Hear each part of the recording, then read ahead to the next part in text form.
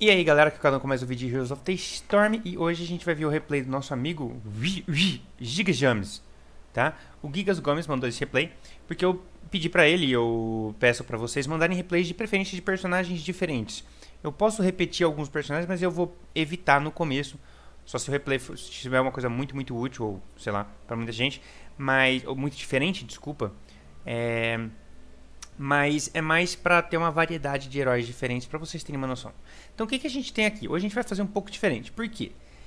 A gente vai ver quem ele é, contra o que ele está e o que o, que o time dele espera dele. Ele é uma nova, tá? Então quando você tem uma nova no seu time, o que, que você espera dela? Você espera que ela mate pessoas. Você fala assim, nossa, Ricardo, todo assassino. Mas não. Seja individualmente ou inesperadamente tá? Então a gente vai ter que exigir dele uma ótima movimentação de mapa. Então a gente vai olhar pelo mapa, a gente vai ver uma, a movimentação dele se foi boa. Ou seja, pegar pessoas que não estão achando que vão morrer e pff, matar essa pessoa. Então, movimentação e pick-off. Número 2. Eles não têm healer, tá? E como ele é invisível, ele é o único do time adverso do, do time dele que, fora a Liming no caso, que vai poder bater de longe sem o pessoal saber que ele tá lá.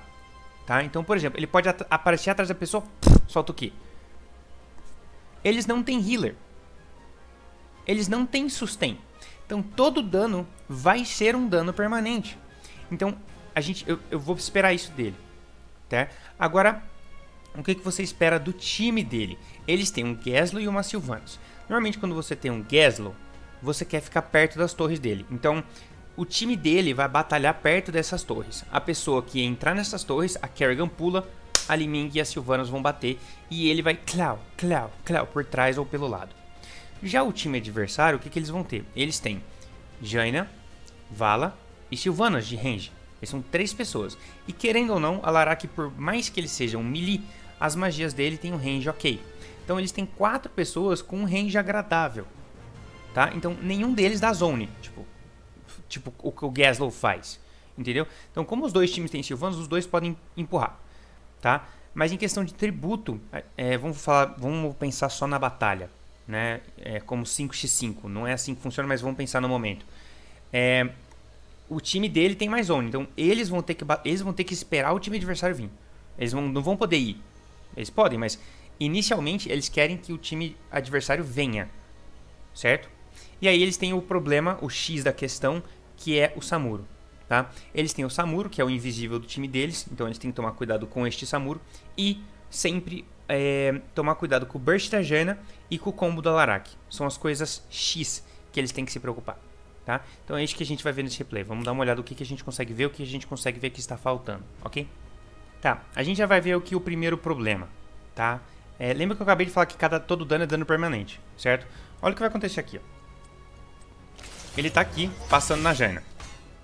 No momento que ela, neste momento, neste exato momento, na verdade já passou meio segundo, mas neste exato momento tem uma Jaina do seu lado, tá? O que que a nova individualmente, de, finge que não tem uma Kerrigan, ok? Finge que ela não existe, finge que essa Kerrigan não tá aqui, ó. Essa Kerrigan não tá aqui, ó. Sai, Sarake, tá? Fingindo que ela não está ali, o que que somente a nova poderia fazer? Ela podia colocar a imagem dela neste lugar. Por quê? No momento que ele coloca a imagem, as torres vão bater na imagem. Então ele está livre para fazer o que ele quiser com a Jaina. Aí ele plau, ela vai andar, vai bater, depois mais um plau nela ali, tá? De novo, dano permanente. A Jaina não está esperando isso. Bateu e vazou. Só que o que, que vai acontecer aqui? É um pouco pior no caso. O que, que vai acontecer aqui? Sente só. A Jaina, lembra que eu falei no outro vídeo que a Jaina, todo o kit dela gira em torno do W, do Blizzard. Ela já soltou o Blizzard aqui, tá no chão, e ela errou. E o que, que vai acontecer? A Kerrigan foi nela, ou seja, tem duas pessoas. No caso, a nova, mais ele. O que, que vai acontecer aqui? Ele passou reto. Ele tá olhando o bot. O que, que ele tá olhando? Ele tá prestando assim. O olho dele tá no bot. Isso acontece direto com as pessoas. Eles estão olhando uma outra coisa, esquece de olhar o personagem. Ou o contrário, tá olhando o personagem, esquece de olhar outra coisa. Tem que ser um intermediário. E o que, que vai acontecer aqui, ó? A Kerrigan vai pular, E sozinha ela tirou o quê? Uns 20% do HP, sendo que ela errou. Tá, ela errou. Só que se a, a Jana estava nesse lugar aqui, ela estava aqui. Se a Nova tivesse aqui, onde ela este, deveria estar, aquela hora que ela pulou, seria uma morte easy, tá? Easy. Essa aqui seria tranquila, muito tranquila. Então, aqui a gente tem o primeiro erro. Primeiro, não identificou que a Jaina estava para frente, porque ela passou dos creeps, ela passou de perto da torre. Ela foi para um lugar onde ela não deveria estar. Gente, por mais que isso pareça estranho, velho, entenda. Com, esses, com essas duas, aqui já é um perigo. A nega tava aqui. Todo o caminho que ela ia passar para cá é o caminho da morte. Olha, ficou bonito até. Certo? Entenderam? Isso é estar fora de posicionamento. Parece super simples, mas não é. Por quê? Porque a Kerrigan ela tem o pulo que dá mais ou menos essa distância. E ela pode puxar você daqui pra cá. E te stuna aqui. Flau, flau, flau, que são os espinhos que tá? E aqui a, a nova completaria. Então, é por isso que você vê as pessoas no torneio, tipo, com maior cautela e você tem que tomar cuidado, porque parece que você tá do lado da base, mas do nada você morre. Então ele perdeu um kill aqui. Perdeu, tá? Olha lá. Tá vendo aqui, ó? Sente só. E aí o que, que ele fez? Ele não matou, mas pelo menos fez ela usar o poço. Lembra que eu acabei de falar que todo dano que ele dá é dano permanente? Isso foi uma vitória pequena, mas uma vitória independente. Porque na hora que o tributo vier, provavelmente ela não vai ter o poço. Ou talvez tenha, no meio, que seja. Mas a questão é que ela fe fez ela usar o poço muito cedo. Certo? Vamos continuar aqui. Tá, o que, que a gente vai ter aqui? Lembra que ele acabou de fazer a Gena usar o poço. Aí ele veio pro bot. Ok? Ele veio pro bot. Massa. Então o que, que ele vai ver? Ele vai ver a, a vala, na, tipo, 60% do HP, e o Gaslo castando. Tá? Vamos ver o que ele vai fazer aqui, ó. Sente só ele vai esperar o raio do Gaslow bater. Sucesso até aí, maravilhoso. E ele vai fazer uma coisa que, se você é novo, é, está jogando da nova, ou até se... É, eu vou explicar o porquê que ele faz isso, mas...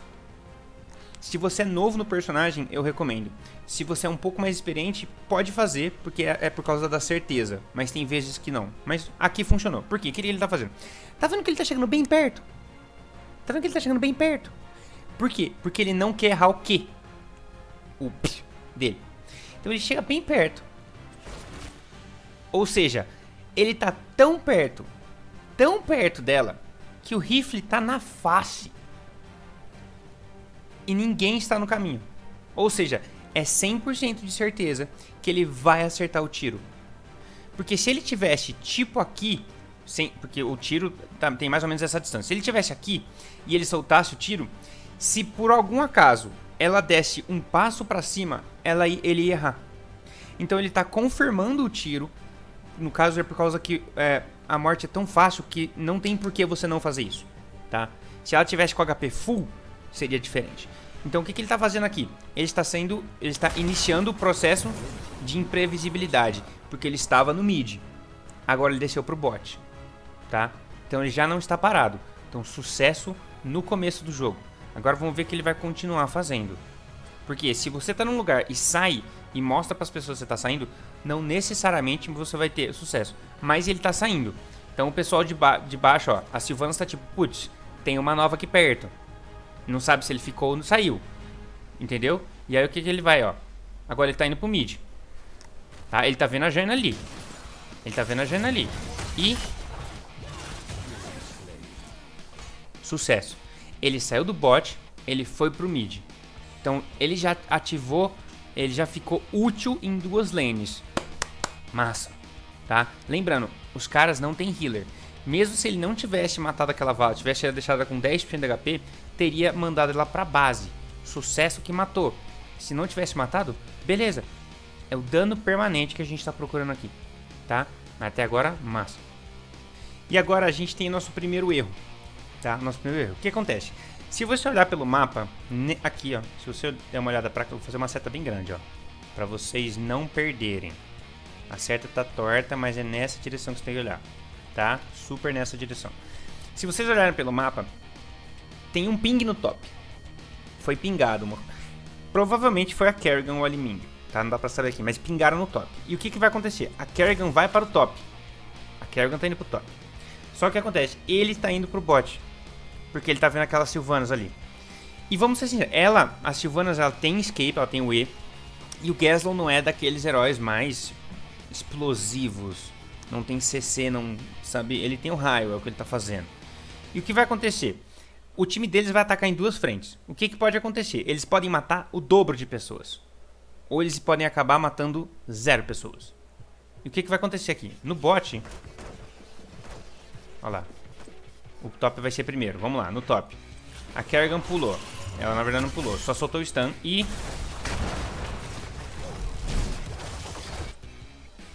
Ok? Uma treta básica. E a Silvana saiu com... Isso aqui é o quê? 1% do HP? Tipo, 1. Se pá nem isso, 0,2% de HP. E no top, a gente tem aqui... Ou seja, eles dividiram os esforços, falaram, vamos matar todo mundo, e acabou não matando ninguém. Se ele tivesse ido pro top, talvez ele tivesse matado até essas duas pessoas. Mas a questão é que, por mais que a Kerrigan tivesse errado, que ela nem deu combo, ela só deu o stun, não importa. Se a nova tivesse aí e, a, e ela avisou que ela estava indo pro top, teria matado, porque você tem mais chance indo junto com alguém para matar. Então, é, esse foi o primeiro erro dele. E detalhe, foi avisado no mapa, tá? Então você sempre tem, mesmo sendo invisível, você tem sempre chance, você tem mais chance de matar quando você vai com alguém, tá? E detalhe, é a lane que tinha Sylvanas do time dele. Ele tem que dar preferência nessa lane, porque qualquer kill nesta lane vai resultar em provavelmente uma torre. Então, nesse caso, a Kerrigan fez muito bem de subir e falar assim, vou matar no top. Só que ele fez ruim de descer, assim, vou matar aquelas Sylvanas. Acabou não matando ninguém. Toma cuidado isso e presta atenção no mapa, Gigas. Foi avisado. Tá, lembra que mais cedo a Kerrigan apontou pro top, ela foi e não matou. E ele não foi, tá? Note a diferença. Ele está sozinho com a Larak aqui, tá? Ele tá sozinho e o Alarak está aqui. O que, que ele poderia fazer? Ele poderia bater no Alarak correr e jogar melhor que ele e matar ele. Isso é uma realidade? É uma realidade. Só que ele estaria sujeito ao quê? Morrer do Alarak. Que detalhe, tem sustain. Então, ele opta pela melhor, melhor opção. O que, que ele faz? Ele espera ele subir, porque o Alarak tá subindo porque quer matar essa Kerrigan. Lembrando que ele está, que tá no Curse pro time do Gigas. E o que acontece? Ah lá. Ele espera a situação, fica no 2x1. Ele viu que o Alarak não viu ele. Ele, ele viu, senão o Alarak teria feito alguma coisa a respeito, empurrada, o que, alguma coisa. Ele sabia que o Alarak não tinha visto ele. Então ele esperou o Alarak subir para ficar junto com a Kerrigan e aí sim transformar no 2x1, que é bem mais fácil para matar. Certo? Só um detalhe, eu quero comentar que nesse jogo o Gigas pegou o Precision Strike, a, a bomba nuclear, que eu concordo que no geral é um ultimate melhor, tá? No geral é um ultimate melhor. É, eu só queria avisar que nessa circunstância o outro ultimate não é ruim. Por quê? Porque normalmente o que, que você faz com aquele ultimate? Você ulta a pessoa, dá três tecos, plau, plau, plau. E a pessoa entra atrás de uma parede, a pessoa se cura, a pessoa, sabe? Tem milhões de coisas que podem acontecer. Ou a outra pessoa entra na frente e usa cooldown. Mas aqui o detalhe é o seguinte: se você pensar bem, se alguém entrar na frente do tiro, todo mundo vai se fuder aqui. Porque, de novo, a gente não tem healer. A gente não tem tanque. Imagina que você vira na vala. E aí o Alarak entra na frente. Beleza. E mesmo se ele ulta, ele vai cancelar um dos três tiros. Dois vão pegar ainda. A Jaina, mesma coisa. A Silvanas, a mesma coisa e nenhum deles corre o suficiente para no tributo voltar para base. Porque lembrando que é, estruturas entram na frente: parede, torre, forte, equipe.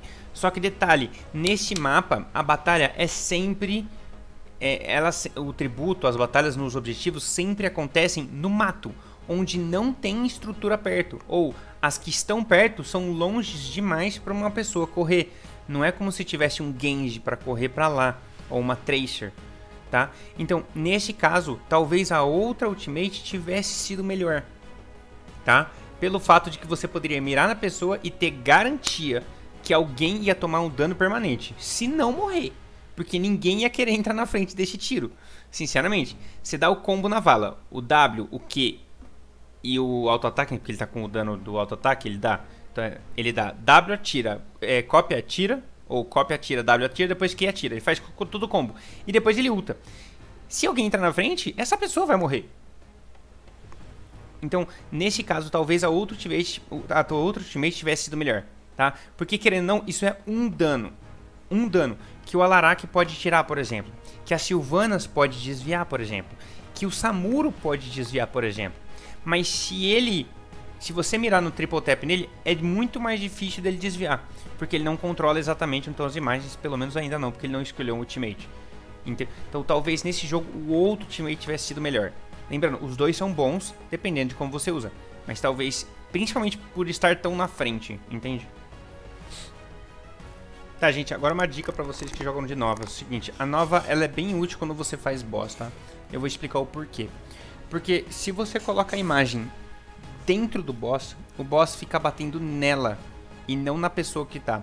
Isso é muito útil, especialmente quando você só tem assassinos e pessoas que dão dano e ninguém cura no time. É, a gente vai ver aqui um exemplo de a Kerrigan tá batendo no boss. Então o que, que a gente vê aqui, ó? Um, ele tá com o W, dá 25% a menos de a pessoa tomar 25% a menos de dano. É óbvio que em herói, mas que seja. Só querendo falar o talento que ele pegou, tá? Não tem nada a ver aqui. Só que vai acontecer. Olha lá. Ele coloca a imagem em cima da Kerrigan, esquerda em cima. E isso faz com que a Kerrigan apanhe, tá? Isso lembrando, se você também tiver de DPS nessa circunstância, o que que você faz? Você vai pra dentro do boss, pra você apanhar. Porque note, ele tem mais life que a Kerrigan. Tá? A Kerrigan está apanhando o boss. A Kerrigan ainda está apanhando o boss. Ele não ficou perto. Note que a Kerrigan é o, o, alvo mais próximo do boss. Ele ainda não ficou na frente. E vai acontecer que a Kerrigan vai morrer. É uma morte desnecessária. Tá? Os dois outros caras estavam com o life mais alto.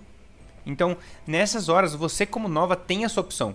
Então, conselho, espera o boss dar o dano no chão, plá. Quando ele der a porrada no chão, quer dizer que ele não vai mais fazer essa porrada no chão por um tempo. Então você coloca o seu clone dentro do boss. Mira no boss e coloca dentro do boss. O clone vai atirar, o boss vai virar no clone e vai pelo menos é, cancelar um pouco do dano que a pessoa apanharia. Não tem por que você não fazer isso. Principalmente porque ele não pegou o dano do clone no 16. Então não tem por que ele usar o clone ofensivamente, porque não faz nada. Então você tem que colocar o, o bichinho dentro do boss, assim, flau, na frente da pessoa que tá apanhando, certo?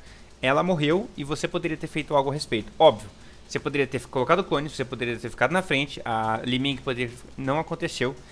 Pegou o boss, legal, mas é uma morte desnecessária, tá? Então se você puder, tanque um pouco pra menina. Você viu ela... E ficou... E sai, desvia.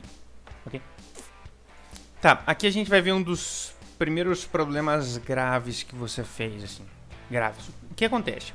Vamos entender a situação aqui, tá? Deixa eu diminuir isso aqui. O que que tá acontecendo aqui? Primeiro, a gente tem um tributo aqui, ó.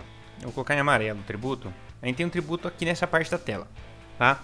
E a gente tem um espacinho pequeno e outro espacinho pequeno aqui, tá vendo? Essas são tipo as entradas superiores para o, tributo. Tá? E se você dá uma olhada no mapa, aqui embaixo você tem uma torre ainda.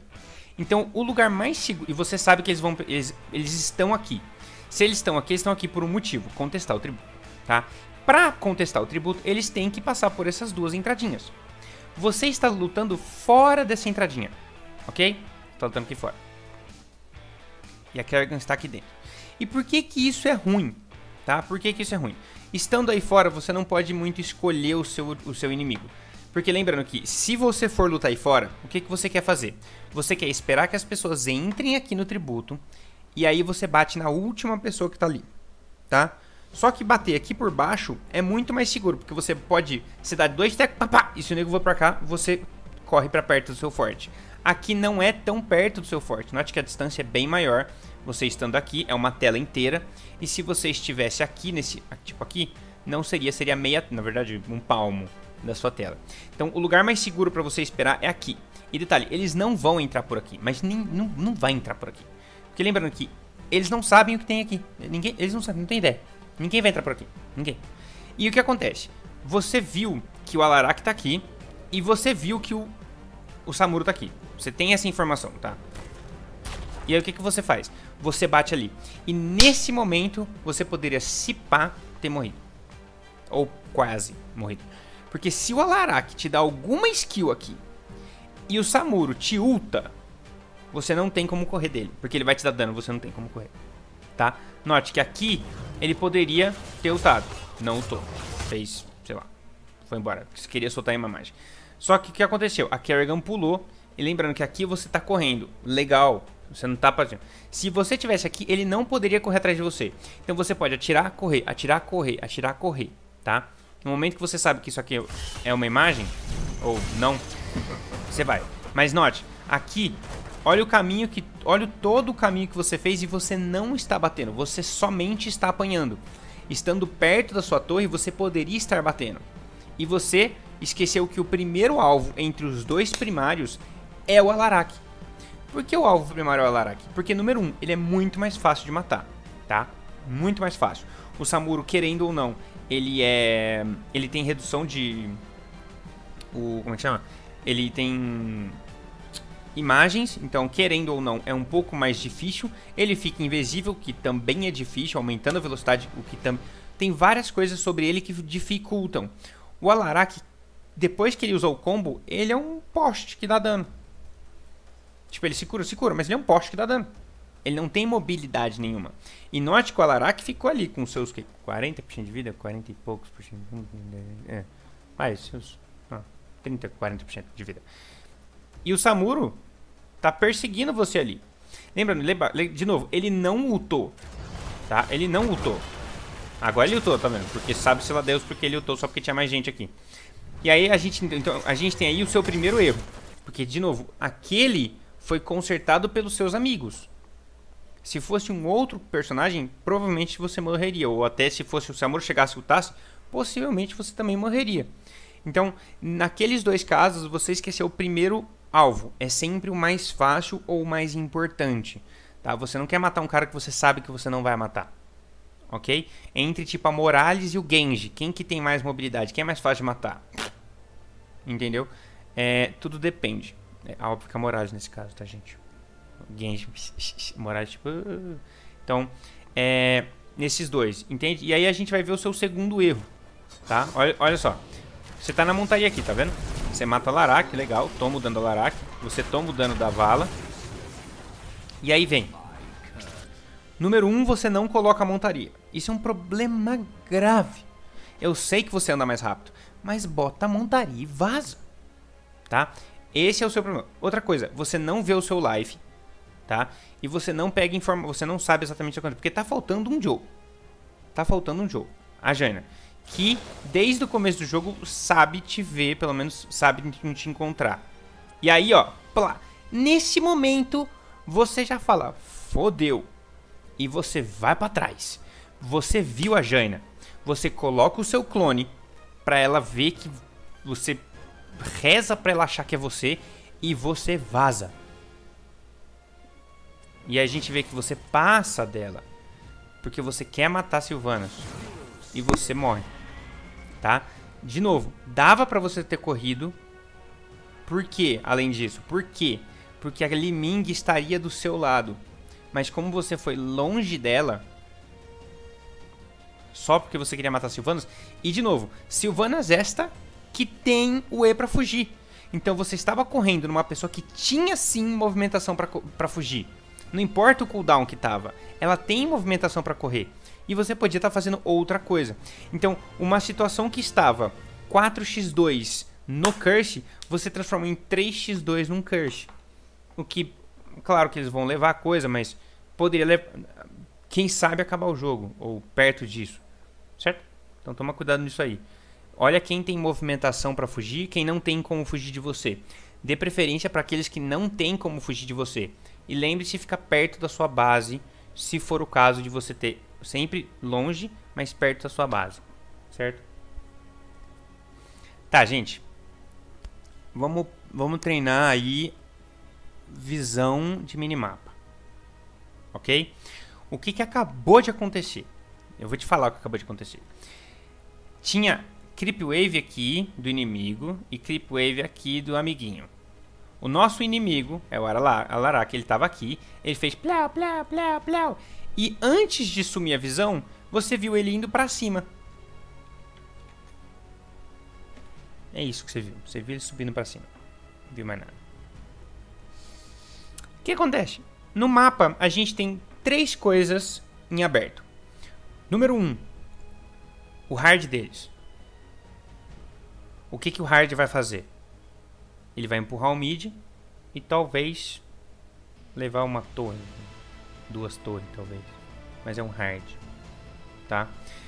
Número 2. O seu hard.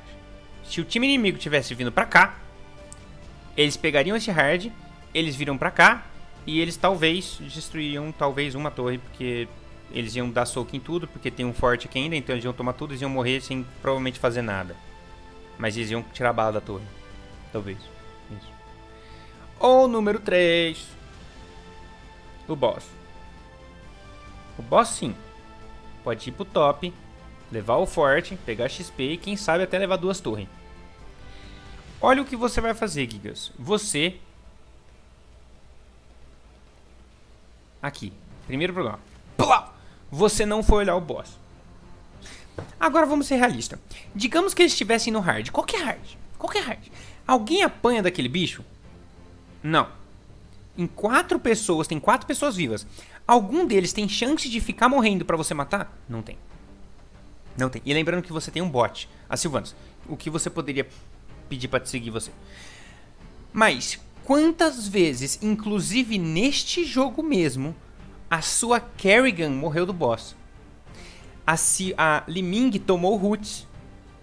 Quantas? É inúmero o, o número de pessoas que tomam as skills do boss. E querendo ou não, eles não têm healer. Alguém vai tancar o boss. Então a primeira coisa que você deveria ter visto é, deixa eu ver se eles estão no boss. No momento que você visse o Alarak ali, você ia falar, ople, posso ver.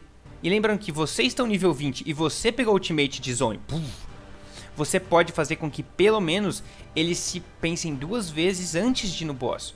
Mas o que, que você vai fazer? Você vai para a coisa mais improvável, que é vir pro hard. Tá? E agora a gente vai ver o que você poderia ter feito. Note que o boss nem começou e o Alarak está em 50% de HP. 50% de HP. De novo, vamos ficar olhando o boss e ver o que você poderia estar tá fazendo. Tá? Número 1. Um. A vala estava morta. A vala tá morta, tipo, tipo, não tem nem o que falar. A Jana já sabe que tem algo estranho aqui. Ela falou, ela falou, cadê a nova? Cadê a nova? Cadê a nova? Mas pensa se você tivesse aqui, ó, colocando imagens no boss. No momento que você coloca imagem, quantas eu tenho certeza que um, pelo menos um deles ia parar para buscar você. Número 1, um, desacelera o boss. Número 2, você tem visão. Você não está em perigo, mas você tem visão do boss. E se você tivesse visão nesse momento, você conseguiria daqui plau, plau, plau, matar a nova, matar a vala. Se matou a vala, ou para o boss ou mais um morre. Lembrando que você tem rewind, você pode voltar suas habilidades. Vamos continuar vendo aqui o boss. Tomou tapa, tomou tapa. Veio mais um. Ó. Quem mais vai apanhar? Ó o Alarak. Ó lá. A gente vê que você chegou agora. Onde toda a atenção do time adversário já mudou. Não é mais no boss. Agora não dá mais pra você fazer nada. Porque se você fizer alguma coisa agora, aí sim você vai morrer. Certo? E detalhe, a atenção deles não está mais no boss. Então você tinha chance agora sim de morrer. Sente só. Entendeu? Você matou duas pessoas aqui, legal. Porque eles se separaram. Foi bom de você esperar. Mas pensa que você, além disso, poderia ter parado o boss sozinho. Pode até ter matado só uma pessoa, mas você poderia individualmente ter parado este boss. Imagina se fosse em 20 minutos. Um time um pouco mais coordenado fosse junto com o boss, talvez. Podia se pá ter levado o keep do top. É um problema. Então fica um pouco, um pouco mais olhado que você teve todo o trabalho de vir pra cá, sendo que você podia ter feito P primeiro o mais simples, ver o seu hard e o seu boss. Porque de detalhe, se eles tivessem feito aquilo, não teria acontecido nada. É só um hard. Tá? Então de olho no minimapa, gente. De olho neste minimapa. E detalhe, que lembrando que tudo começou com você vindo o cara subir. o jogo vai acabar agora, tá? Foi muito bacana. Só... É, então, tem que ficar ligado, é, Gigas, ficar ligado com, às vezes, o seu posicionamento. Então, por exemplo, se tivesse muitos... Se tivesse healer em algumas horas, possivelmente você teria morrido. É, tomar cuidado com a movimentação no começo do jogo. Se seu amigo que quiser que você vá com ele, confia tá? Não importa quem é. Em dois tem mais chance de matar do que em um. Mesmo que for uma, boa, uma péssima ideia, o cara, ah, vou matar um nego que tem muito HP. Vai junto com o um amigo, tá? É, olhar o minimapa para o que tem sendo, tá sendo feito, tá? Mas fora isso, tudo legal, tudo bacana, tá? Parabéns. E pessoas, agora outra coisa. Se, é, se vocês, eu até tenho preferência para vocês mandarem jogos que vocês fizeram muitos erros. Ou tipo, você perdeu, tá? Por quê? Porque quando você perde, é aí que você consegue falar, legal. O que, que eu poderia ter feito de diferente nesse jogo para ter virado e ganhado? Tá? Eu queria mostrar isso aqui porque aquele negócio do boss é interessante. É, querendo ou não, nova é uma coisa que as pessoas jogam também, independente de você achar que ela é boa ou ruim, ela é um personagem e ela tem seus méritos. Então, usem o que ela tem de bom e tomem cuidado com o que ela tem de ruim. Tá? A falta de mobilidade, etc, etc. Tá? Então, muito bacana. Continuem mandando os replays aqui embaixo. E na, na playlist do, desses replays tem o e-mail para vocês mandarem, ok? Não se esqueçam, eu sou o Cadão, fico por aqui. Até a próxima, amo todos. Valeu!